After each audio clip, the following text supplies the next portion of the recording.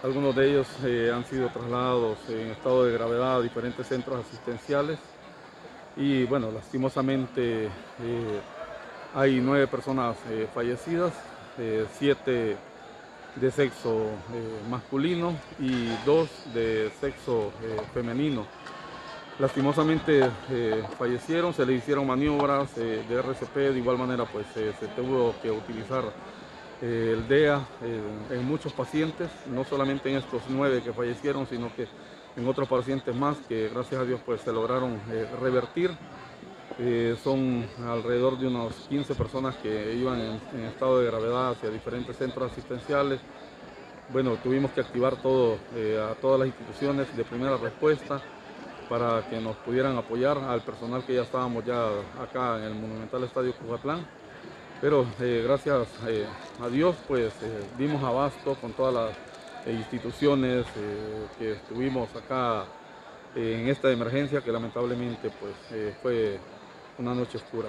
Hay niños entre, los fallecidos, Carlos, se, menciona hombres y mujeres, pero también hay niños. gracias a Dios no hay ningún menor de edad fallecido, únicamente pues son personas adultas.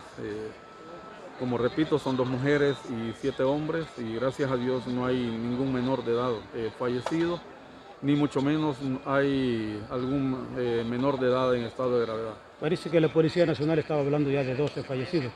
Bueno, hasta el momento eh, acá, lo que es en el Monumental, hay tres en el engramillado y son seis que están, cinco en el túnel y uno que está en la parte de afuera del Monumental.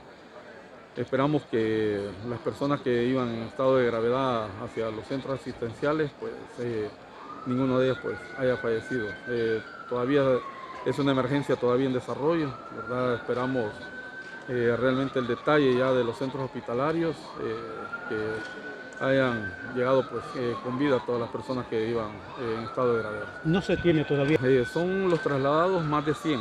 Son más de 100 personas las trasladadas hacia diferentes centros asistenciales, aunque de primera mano, pues, eh, Comando de Salvamento contaba acá en el Monumental, pues, con cuatro ambulancias eh, y de igual manera, pues, eh, aproximadamente 40 elementos que estábamos acá en el lugar, pero lastimosamente, pues, no dimos abasto para la, gran cantidad de personas que se encontraban lesionadas por eso tuvimos que pedir el apoyo a todas nuestras seccionales cercanas y de igual manera pues activar todo, todo lo que es el sistema de emergencia de nuestro país para que entre todas las instituciones empezar a trasladar a los diferentes eh, lesionados a todos los hospitales.